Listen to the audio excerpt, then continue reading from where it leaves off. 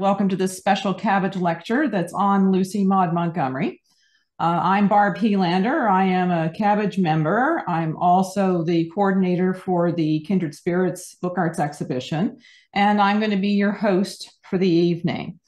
As many of you are aware, this year marks the 150th anniversary of Lucy Maud Montgomery's birth, and Cabbage has elected to organize a book arts exhibition in recognition of this milestone. The exhibition is called Kindred Spirits, the Lucy Maud Montgomery Legacy as interpreted by contemporary book artists. Now, many of us only know Montgomery through her most popular novel, Anne of Green Gables. So, to get a better understanding of Canada's national treasure, uh, we've invited Kathy Wasylenky, past president of the Lucy Maud Montgomery Society of Ontario, to give us more insight. In, in, in essence, Lucy Maud Montgomery beyond Anne of Green Gables. And I will be introducing Kathy shortly.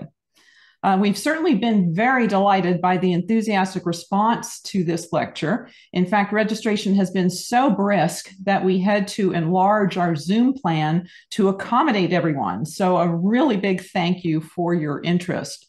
No doubt you may know of friends who wanted to attend this, but maybe the time was not convenient do let them know that we are recording the talk and it will be posted to the Cabbage YouTube channel for later viewing. And you'll find the link to our YouTube channel in the chat. Now, many of you in this room uh, are Cabbage members, but I will say most of you are not. So for non-members, you're likely wondering, why do I keep saying cabbage?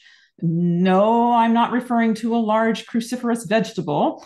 It is the acronym for the Canadian Bookbinders and Book Artists Guild. So, a little bit about us we are a not for profit organization. We support, promote, and, and, seek to inspire the participation in traditional bookbinding and contemporary book arts. Cabbage provides high quality book arts education, information, resources, and networking opportunities to the Canadian book arts community, as well as to the public in general. And if you want more information about Cabbage, or maybe you'd like to enroll in one of our introductory workshops, please check out our website. A link to that has also been posted to the chat. And while you're on that website, you'll also find wonderful information about that Kindred Spirits Traveling Book Arts exhibition. It will be launching in Charlottetown, Prince Edward Island in June.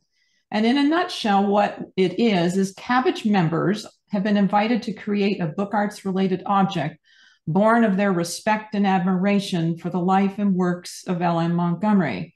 The exhibition is open to all levels of experience, and even if you aren't a member, your registration fee will include a one year membership. And now, maybe some of you are attending tonight's lecture hoping to be creatively inspired, and if so, that's terrific. Just keep in mind the registration deadline is soon, it's January 29th uh, and the completed work must be received by April 1st. And I'm sure everyone can appreciate that there are costs associated with any initiative, especially one the size of Kindred Spirits. If you are so moved, I do invite you to visit the Cabbage website where you can donate to the Kindred Spirits exhibition specifically or donate to our organization in general. And you'll find a link to that in the Zoom chat as well. So, with all that housekeeping out of the way, it's now my great pleasure to introduce our guest speaker, Kathy Wasylenky. So, a little bit about her. From childhood, Kathy always dreamed of being a teacher. She attended David and Mary Thomson Collegiate in Scarborough, and upon graduation, followed that dream by attending Toronto Teachers College. From 1965 until 1997, Kathy was an elementary school teacher at many Ontario school boards, such as Scarborough, York, and Durham Region. During this time, Kathy also attended university, where she earned her Bachelor of Arts in Psychology and Anthropology, as well as her Bachelor of Education. Upon her retirement from teaching, Kathy ran a bed and breakfast in Uxbridge, Ontario for 10 years, and following that was elected for two terms as a ward councillor for the township of Uxbridge. It was during her terms as ward councillor that she developed a deeper interest in Lucy Maud Montgomery's work. After all, Montgomery lived in the Uxbridge area from 1911 to 1926. In 1998, Kathy joined a local organization known as the Lucy Maud Montgomery Committee, While on this committee, she spearheaded the restoration of the Leaskdale Manse. The manse was where Montgomery lived, raised her family, and wrote her many novels. Following the restoration, Kathy became president of that committee, but during her tenure, they became an independent not for profit organization known as the Lucy Maud Montgomery Society of Ontario. The society purchased the church where Montgomery's husband, Ewan MacDonald, was minister, and this is now the Visitors Welcome Center for the property. It should be noted that the Leaskdale Manse is a Canadian National Historic Site. Kathy continues her association with the Society as a life member, actively participating in its continued growth. She has been a frequent guest speaker at Lucy Maud Montgomery events, has led discussions on Montgomery's work, and often can be found conducting tours at the Leaskdale Manse. And presently, she is writing a book on the life of Lucy Maud Montgomery in Leaskdale. As time permits, Kathy will answer questions after her talk, so please put your questions in the chat. So, welcome, Kathy. We look forward to your talk this evening and learning more about, in your words, the mistress of the Leaskdale Manse. So, Kathy, over to you. Thanks so much. You're welcome. Uh, I I'm hoping that you'll get a, a brief glimpse into the complexity of Montgomery's life as a writer, a minister's wife, and a mother.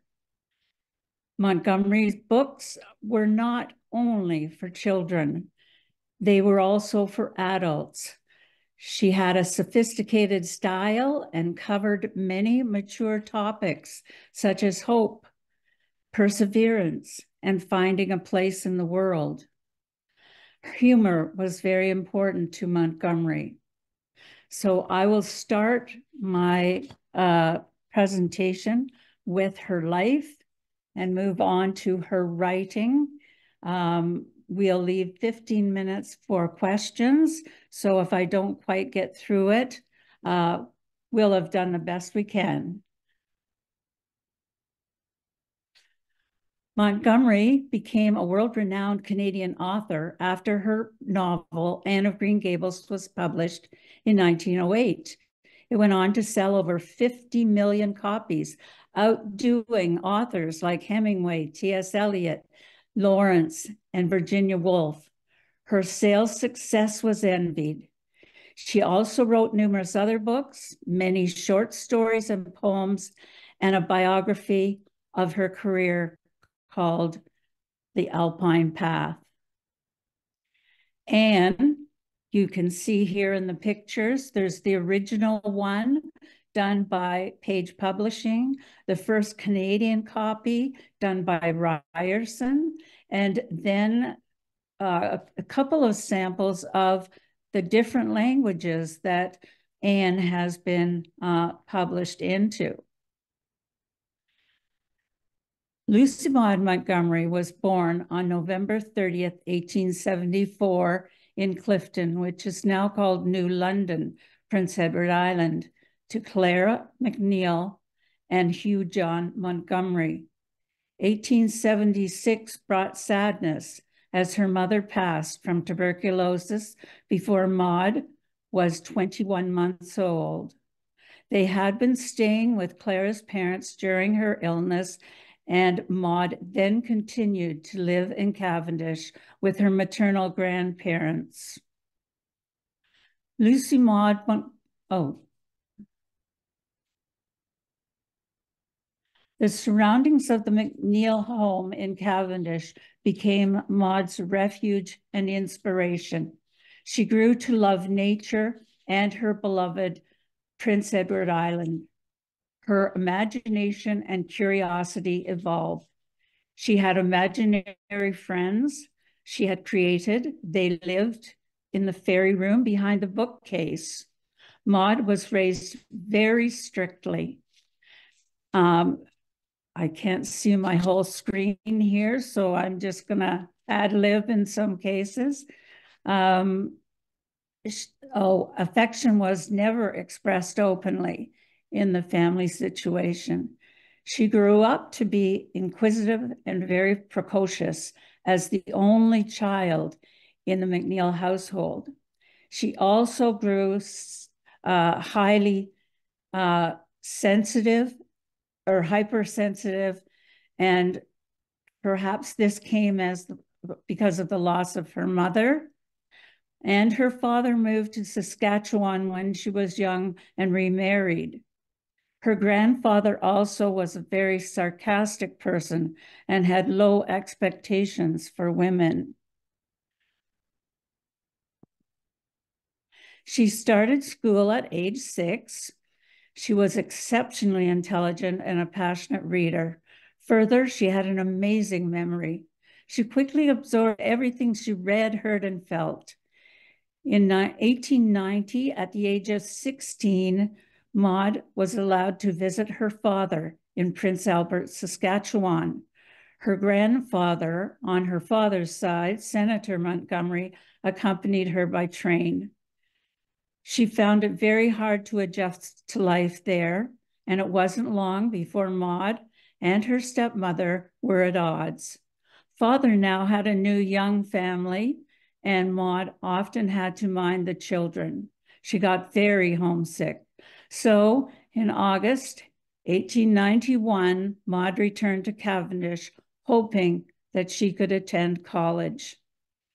In August 1892, it was decided she would go to Prince of Wales College in Charlottetown and get her teacher's license. In July, she got, excuse me, I'm going to, um, again, she got a posting um, and she started with 20 pupils, but as her teaching reputation grow grew. She had a class of 60 by the end.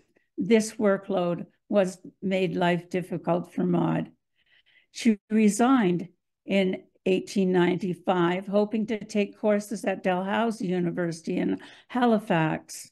In 1896, she succeeded in getting some of her pieces accepted for publication. Her year at Dalhousie was great for building her confidence as a writer.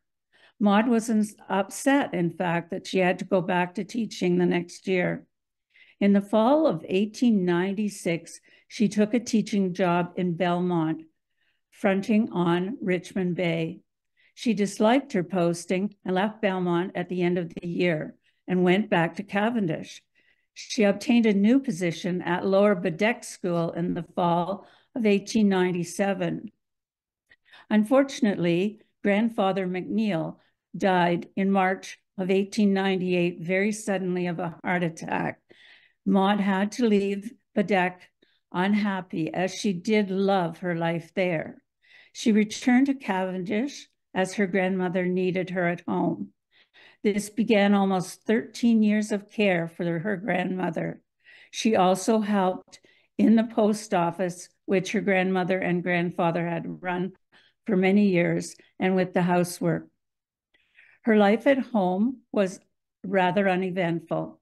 She busied herself with literary society, prayer meetings, socials, and of course, uh, church going. In 1901, she managed, with her grandmother's permission, to go to Halifax again.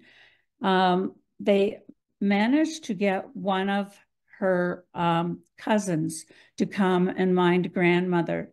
So she got a job at the Halifax Morning Echo and Daily Chronicle as a proofreader. And on Mondays, under the name of Cynthia, she wrote Around the Table, a column of fun fashion, fads, and fancy. However, in May, grandmother needed her back and she returned to Cavendish. In Cavendish, she did a great deal of reading, which she loved to read. She was an avid reader. And she also did a great deal of writing during the winter of 1902, 1903. So this would be poetry and short stories. By June of 1903, she had developed a new philosophy I am earnestly trying to teach myself to live in the present and stop meddling with the future. It is a hard lesson for one of my temperament to learn, but it makes life endurable. During her years in Cavendish, Montgomery continued to write and sent off numerous poems, stories, serials to Canadian, British, and American magazines. She had a number of boyfriends. The one who caught her attention, however, was Ewan MacDonald. Ewan had been inducted on September 1st, 1903, as minister of the Cavendish Church. The young women in the church were very interested in his comings and goings. This morning we had a Highlander to preach for us, and he was just lovely. And all the girls got stuck on him. My heart pity patted, so I could hardly play the hymns. It's weak yet, so I will stop short. She was the organist at the church by then. In May 1905, Ewan moved closer and right into Cavendish. This was a very easy walk to the church and to the grand grandmother's post office. So Maud used her charm to win him when he came. They became secretly engaged in 1906. In 1905, she had written her first and most famous novel, Anne of Green Gables, in Cavendish. She sent the manuscript to several publishers, but after receiving rejections from all of them, she put it away in a hat box. In 1907, she decided to try one more time to get it published. She was thrilled when Page Publishing of Boston decided to publish it and was even interested in her writing a sequel. Anne came out in 1908. On June 20th, she wrote, This is the epoch of my life. Her book had arrived. It was an immediate success. Letters arrived from fans of Anne around the world. The two letters she coveted the most were from the poet Bliss Carman and the author Mark Twain. His secretary, Ivy Lyon, wrote on October 3rd, 1908. Mr. Clemens directs me to thank you for your charming book and says I may quote to you from his letter. In Anne of Green Gables, you will find the dearest, most moving, and delightful child since the immortal Alice. The sales were outstanding. She continued to write. Anne of Avonlea was next, and then The Story Girl came out. In 1911, unfortunately, grandmother got pneumonia on the 6th of March, and five days later, she passed. The only mother Maud had known was gone. The house was immediately taken over by grandmother's son, so Maud moved to Park Corner. Um, and Park Corner was the home of her cousins, which I'll explain later. Um, a few weeks later, Ewan, who by now was preaching in Ontario to uh, two postings, one in Leaskdale and one in Zephyr, asked for a leave of absence for three months so that he could return to PEI to marry Maud. So the Park Corner home um, was where she married Ewan MacDonald on July 5th, 1911. They had a wonderful honeymoon in the British Isles. These are just a couple of pictures um, of her, her trip there. 10 weeks they spent in the British Isles and had a wonderful time. So they visited traditional sites like the Burns Cottage, um, Stratford on Avon, etc. And they visited also sites that they had decided they'd love to go to, like Fingal's Cove in Scotland. They returned from the honeymoon and they arrived in Leaskdale and stayed with the two Oxtoby ladies. She quickly gained the parishioners' respect with her accessibility and willingness to help in all church activities. She seemed to energize the women and the youth of the community. Ewan was already well respected in the community as he had been there a year. She was overjoyed in early November when she thought she was pregnant. She was nearly 38 and Ewan was 41. Maud worked on the Chronicles of Avonlea, a collection of her short stories, and it was released in the spring of 1912 by Page. She spent her time then reading, of course, and writing her second storybook novel, The Golden Road, throughout the spring of 1912. Chester Cameron MacDonald was born on July 7th, 1912. Fred, or Frederica Campbell, Maud's cousin and kindred spirit from PEI, came out to Ontario to help. Maud found the closeness of Toronto a real bonus for her, and she often went to Toronto to meet with other authors. Maud seemed very contented with the manse. She was very busy with church meetings and being a mother. She did manage to get to PEI every few years. The Golden Road came out in September. And in September 1913, she began another Anne book. In August 1914, an event happened that would consume Maud emotionally for the next number of years. England declared war on Germany. World War I had begun. During that similar time, August the 13th, 1914, her second son, Hume, was stillborn. The grief was overwhelming for her. On November 20th, Anne of the Island was finished. It was written under stress because of the war and the grief and loss of her baby. Maud announced her third pregnancy in her journal on March 19th, 1915. On October 7th, 1915, another son was born. Ewan Stuart MacDonald was a chubby, healthy boy. In late November, the ladies of the church organized a Red Cross branch of which she was president. She had so much going on, but she felt she must do it as it was so important to the war effort. Here's a couple of pictures or three pictures of Stuart. He was a little different looking than Chester.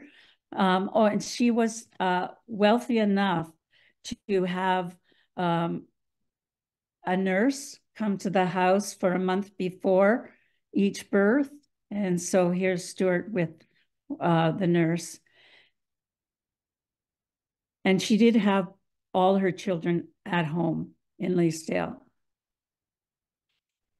By now, she was being regularly wined and dined by various literary groups in Toronto. The Press Club gave her an afternoon tea in Toronto on March 14th, 1916, and that evening, McClelland and Goodchild of McClelland, Goodchild, and Stewart called her to discuss a Canadian publication of her next book. They would do her poetry book. She was upset with L.C. Page by now as he seemed dishonest. A very nasty letter came from Page, her prior publisher, on the 12th of July, and he threatened to sue her. Although not active in the suffragette movement, Maud was happy to cast uh, her first vote on December 19th, 1917. On Tuesday, May 7th, 1918, another epoch for Maud and for Ewan. They bought a car, a Chevrolet five passenger. As a minister and a minister's wife, you had to be cautious. You didn't want to have a car when no one else in your congregation did. So they certainly waited. They had Queen, uh, their horse and a buggy. And even in the winter, they used Queen and the buggy to get around because the roads were so bad. On December 1st, she announced that the war was over. Her kindred spirit and confidant, Frederica or Fred Campbell, passed fairly suddenly in January 1919 from the Spanish flu. Every January in the future, she would mourn Fred. Ewan was suffering mentally at this time as well. This was the start of a dreadful worry for Maud. Religious melancholia was the diagnosis. Here's some family pictures of them. Um, so you can see Ewan with Chester and Queen, their horse, and one of her groups that she had in for a Christmas gathering, the Guild group, um, and Stuart, uh, sorry, Ewan again with the two boys there. In April 1920, she received a copy of the further chronicles of Avonlea from Page. Note that the date is quite a bit later and she had already uh, thought about switching. It resembled the Anne books to deceive the public. He, she advised Rollins, the lawyer to she hired to sue them. She said she would not stay by, well, Page Publishers illegally tricked her and the public. And there's a lot more to that story, but I won't dwell on that. In late 1920, she worked on her Emily novels and a few short stories and verses. In 1921, unfortunately, they had a car accident in Zephyr, uh, their other placement, and they were being sued. Maud was haunted with the thoughts of the bailiff coming to their door. Ewan would eventually lose this case. She changed her will so that none of her money could be taken uh, to pay for this because Ewan refused to pay. Also, there was a talk of unionism within the church so that the Methodists and the um, Presbyterian churches were unionizing in some cases into united churches. Maud was against this. She was angry about it. And Ewan also was against it. Ewan's mental illness was still unpredictable, and at times he was down for days. In the summer of 1922, the family vacationed in Bala, Ontario, um, a place that Maud grew to love. The first bit of great news in 1923 was that the Royal Society of Arts of Great Britain bestowed a great honor on Maud as they asked her to become a fellow. She was the first Canadian woman to whom this honor was given. Emily of New Moon came out at the end of August 1923. After three years of fighting, Maud finally won her case against Page. Page now decided that he'd take it to a New York court rather than the Massachusetts court where he had just lost. So Maud would have to fight them there, having to get new, new lawyers, etc. She had finished Emily Climbs in January 1924 and it had been almost a year since Ewan had had an attack. But in March, he had a very serious one. It was hard to hide Ewan's condition from the community. Now, she did manage to do it fairly well. The Delineator magazine had asked her to write four stories, and they were to be on Emily and would be published in 1925. By now, she was getting quite a tidy sum for her stories um, and not just a magazine subscription or you know, the privilege of having her poem published. Maud and Ewan planned a trip to Kentucky to see the Mammoth Caves. This trip was wonderful. The, uh, the children went as well and, and one of her friends. Um, October 23rd, 1924 was another election day. So there was some excitement in the Leaskdale hamlet, but of 128 votes, only 16 were wet. All the rest were dry. And this led to the Ontario Temperance Act being passed. She went to Hamilton to speak at the Business Women's Club and McMaster University. She traveled uh, all over Ontario doing public uh, speaking. And uh, so uh, when she came back from this particular trip, um, she came back to more talk of union. And this was upsetting not only them, but the congregation, and it was also dividing the congregation. She finished writing Blue Castle in February 1925. She had been suffering a great deal from stress. Um, her work, her writing, being a mother, uh, caused constant stress for her. And uh, Ewan continued to suffer as well. She hoped that they could both get well, but she thought that it would take another posting to do that. In 1925, Emily Climbs, her 12th book was out. The reviews were quite good. And at an anniversary service in Uxbridge, which was just about 10, well, um, I'm going to say 10 minutes. It's 10 minutes for me So It certainly wasn't for her. But um, Uxbridge was fairly close, and she went to Uxbridge to do shopping and so on. Um, in December 1925, sorry, was the anniversary, and Reverend McKay told Ewan about a church that was open in Norval, and it had a double charge. So the other charge was Union, northwest of Toronto. Ewan immediately arranged to preach there on December 20th.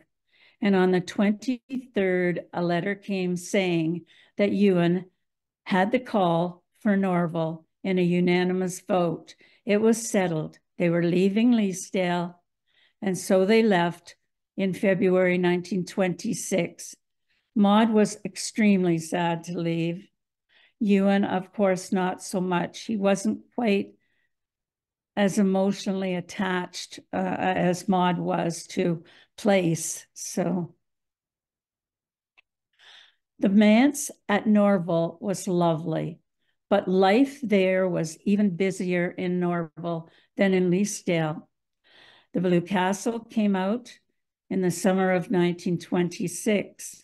In October 1926, she finished Emily's Quest.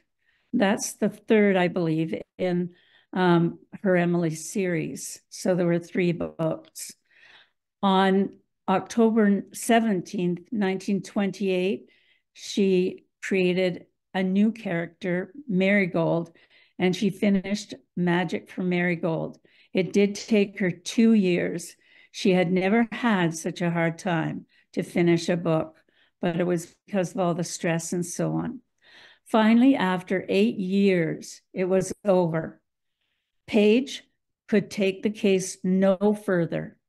She won and would receive a check in November for $15,000. Magic for Marigold came out at the end of August 1929. She did not have a title for the book she completed in 1931, but they finally chose a tangled web. Maud was going to give up writing in her diary in 1931, but she couldn't.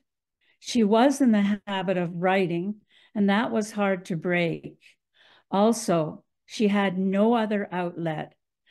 She hadn't uh, developed any close friendships, for fear of gossiping and uh, sort of uh, causing problems with, with Ewan's um, station at the church. Uh, so again, that year, the seriousness of her depression was unmistakable. She was crying all the time. She was impatient and restless. Pat of Silverbush was out in the summer of 1933. She did stop writing in her journals for a three year period. The next entry was dated September 1936, and she admitted that it had been three years since she wrote. But she said, I cannot live without it. I must have a confidant of some kind once more. So uh, I need to write things out. It will help a little. It always did. And I need all the help I can get, even to endure. The children, meanwhile, had done very well in school. And when it came time for high school, she sent them to St. Andrew's College in Aurora. They did very well. And um, when they were at home during their younger years, they were cared for by housekeepers um, when Maud was busy with her church affairs and her writing.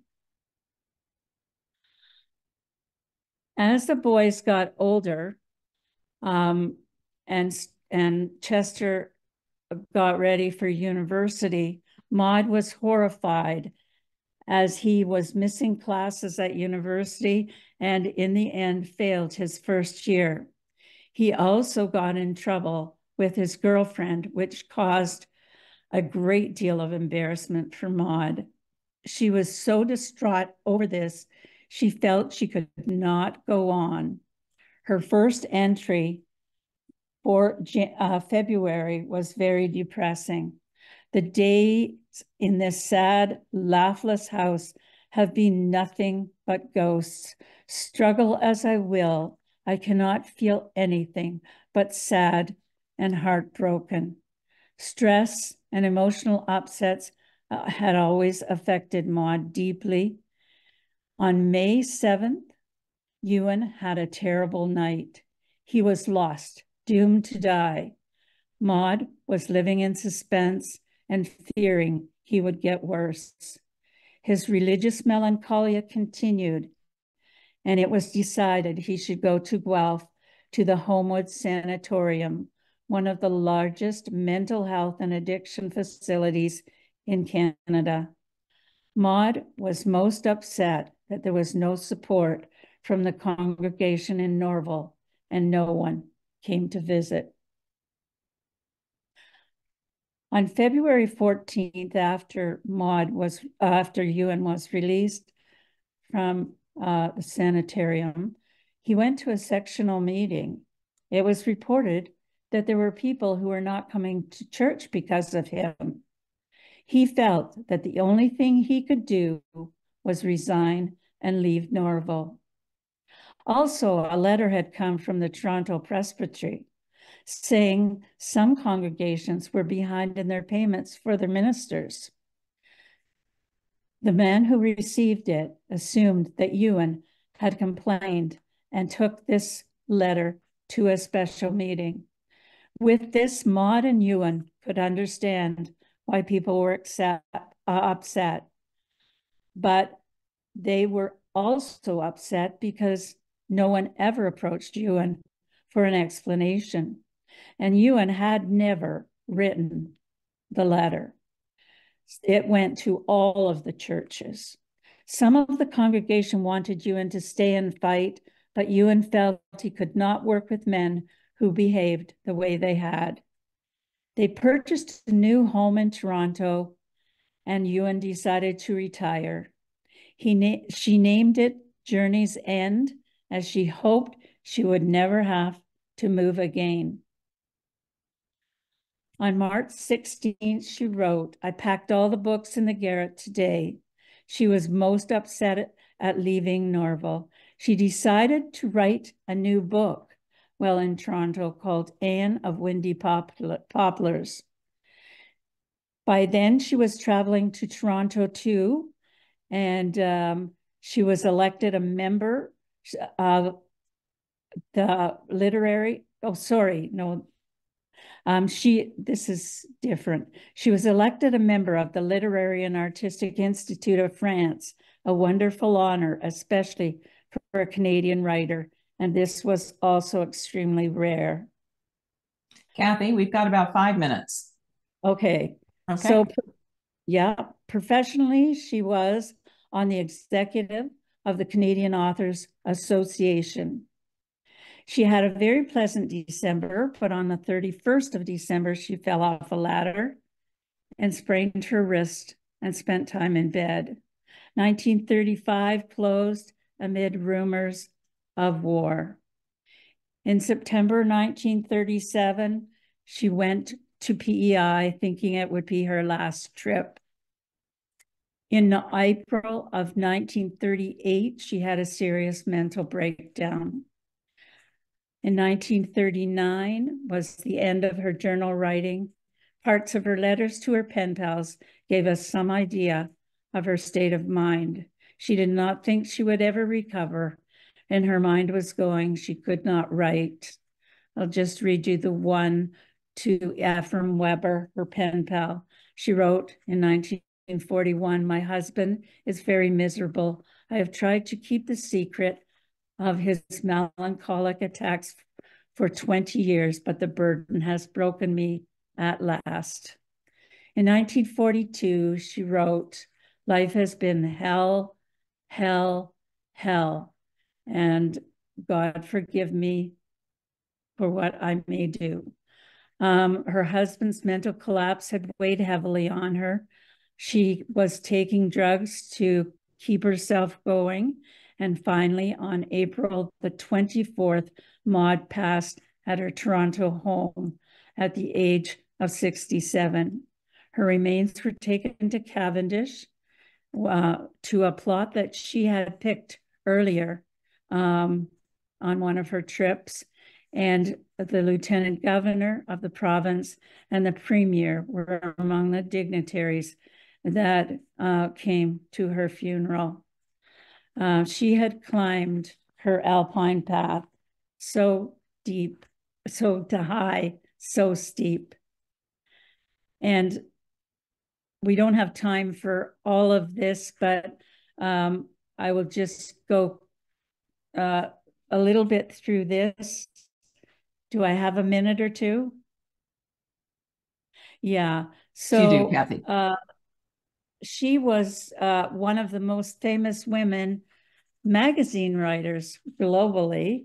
Um, she had so much uh, done. And her very first great success was while she was in Prince Albert with her father. And she wrote a poem called On Cape Le Force, and it was published in a newspaper back at home.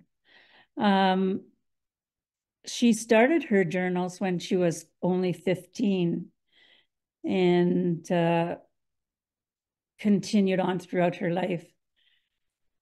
She obtained the first copy of Anne translated in 1910 in Swedish.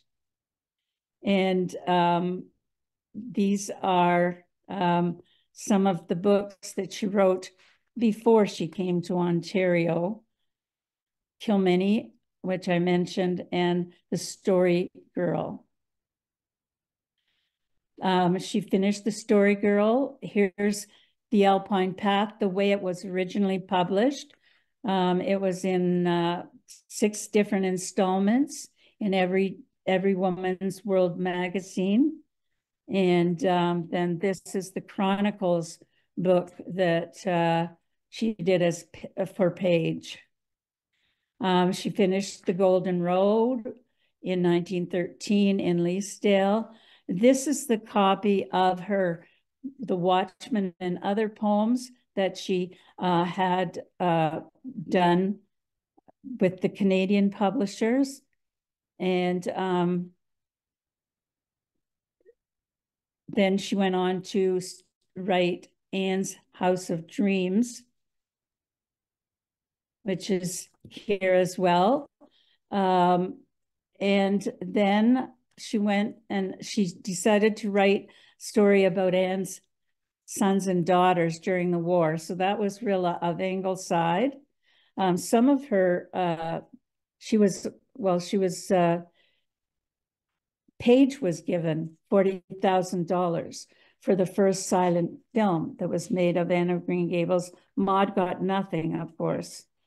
And the further chronicles, we talked about that one. Um, we've we've also mentioned these two, the Royal Society of Arts, and that great honor um, bestowed on her. And um, she was named one of the 12 greatest Canadian women in the Toronto Star in 1923. A new stage of Canadian literature was coming into vogue, and she was uh, not happy with it. And they were very critical of her romantic style of writing. Um, so she took a lot of grief over that. Um, now that might be a good place for us to start to wrap it up in case we've got sure. some questions.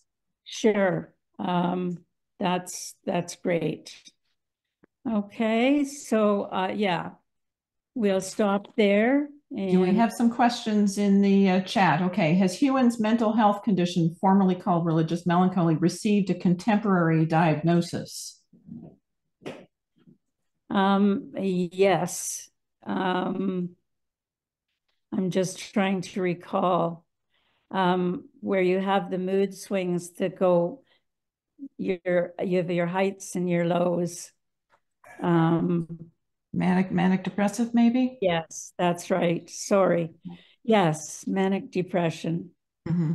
and was he receiving any kind of treatment for it i know you mentioned that yes she was uh, taking some drugs towards the end Yes, and she was using his drugs in some cases, unfortunately. Oh, I see. Okay. He he was taking drugs that were used at the time, um, and uh, they didn't seem to help him a great deal.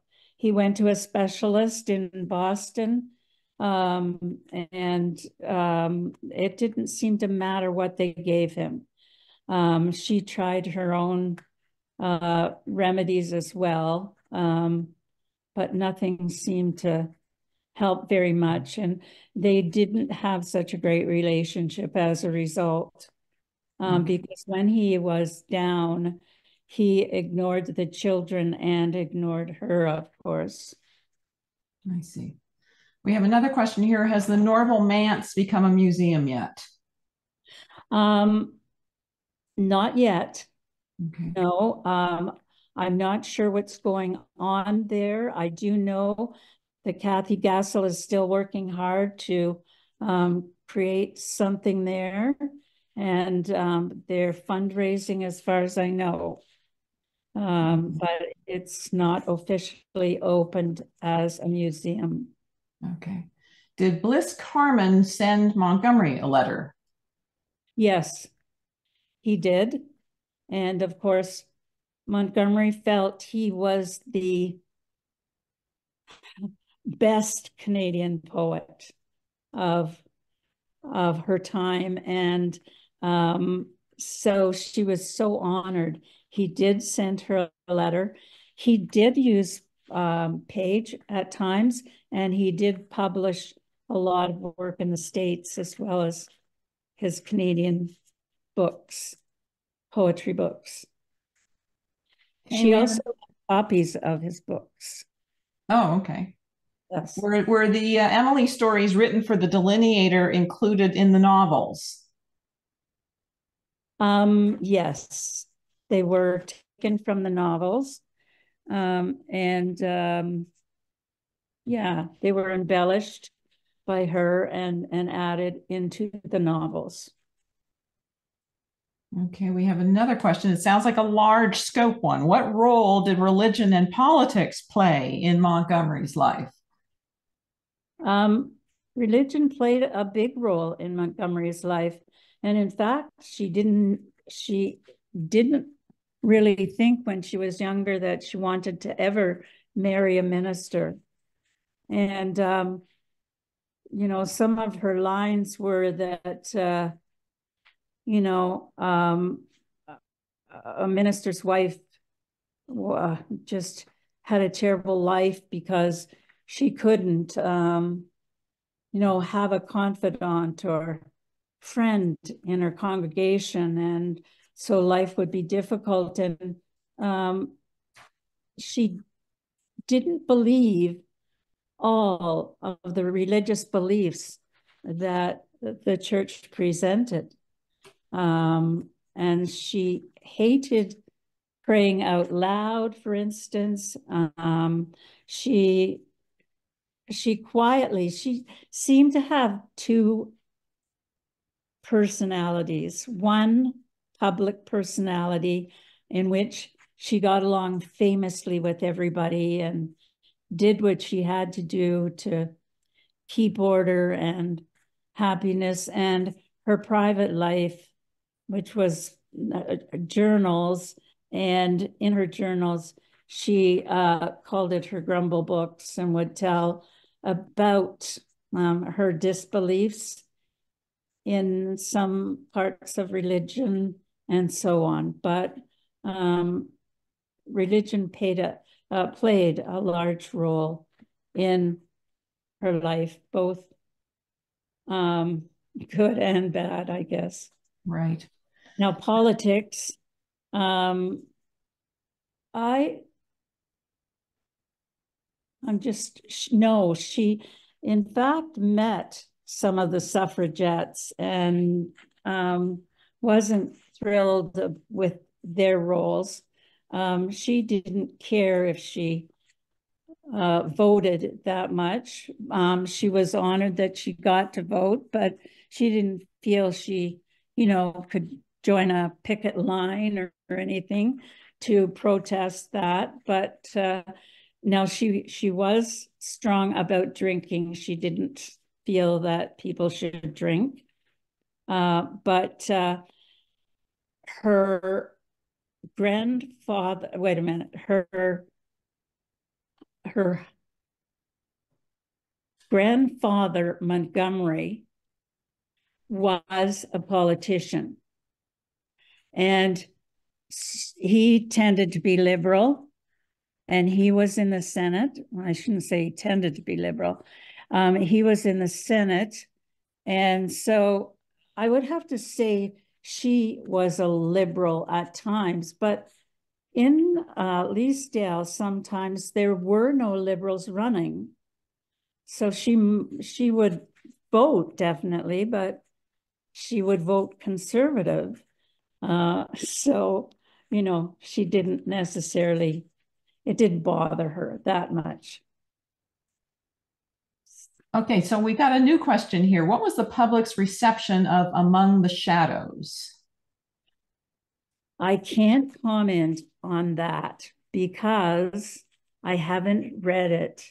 Um, that Among the Shadows was a book that was brought out after her death. And um, all I have heard about it is that it is very dark. And I do know that um, towards the end, her stories were very dark as her um, temperament was dark and she was so unhappy with life in general. Right. And that makes that makes sense. Next question. What was religious what was religious melancholy? So the person who wrote this says I'm a priest and have not heard the term. Yeah, um, it it was diagnosed as like when he went into his lows, he thought like in uh, Presbyterianism, they believe in predestination. So you are either going to heaven or you are going to hell. And he felt in his lows that he was predetermined to go to hell. And there was nothing he could do about it. And so he should not ever have been preaching. He didn't feel he was worthy of being a minister when he was ill. And so all those sad feelings that are wrapped up about his religious beliefs were called religious melancholia. And I suppose uh, it was a widely used term. So I suppose depending on uh, a person's religion and how religious they were, um, it would fit for them as well.